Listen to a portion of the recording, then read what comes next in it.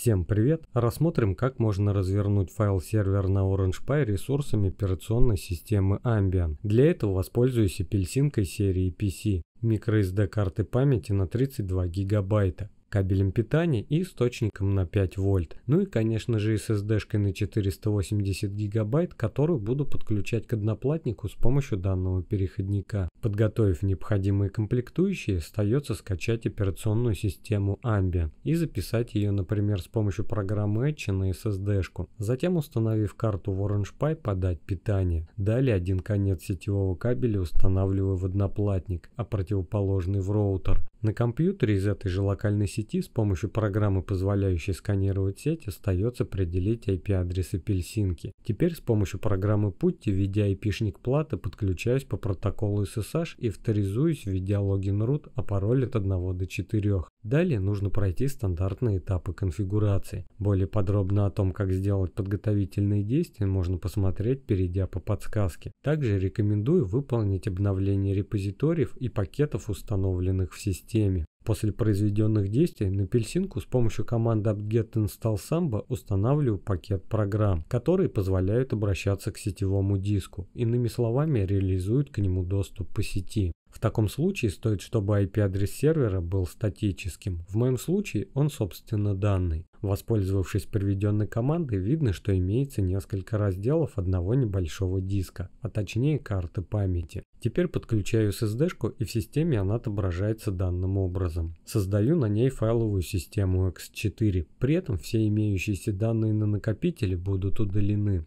По завершении данной операции перехожу в каталог MNT и создаю в нем раздел Net. Набрав ls, можно видеть, что он создался. Теперь набираю команду, позволяющую смонтировать SSD-шку в созданный каталог. Чтобы твердотельный диск автоматически подключался при запуске системы, с помощью текстового редактора в каталоге ETC в FSTab добавляю данную строчку. Сочетанием клавиш Ctrl плюс X выхожу из редактирования и сохраняю, нажав Y. Набрав df с ключом H, можно видеть, что накопитель успешно установлен. Для подключения к сетевому диску отредактирую конфигурационный файл Samba. Опустившись в нем в самый низ, вставляю приведенные строчки и сохраняю изменения. Затем, набрав данную команду, перезапускаю самбу. Сворачиваю окно программы пути и, кликнув по значку на рабочем столе этот компьютер, в адресной строке набираю два обратных слыша и айпишник апельсинки. Нажав Enter, как видно, отображается каталог .NET и еще один дефолтный ноубоди. Перехожу в данный и попробую создать в нем папку. К сожалению, ничего не получается. Поэтому в пути для общего доступа к данному каталогу кому-либо использую приведенную команду. Теперь вновь пробую создать папку. Как видим, в этот раз все прошло успешно. Переименую ее для проверки.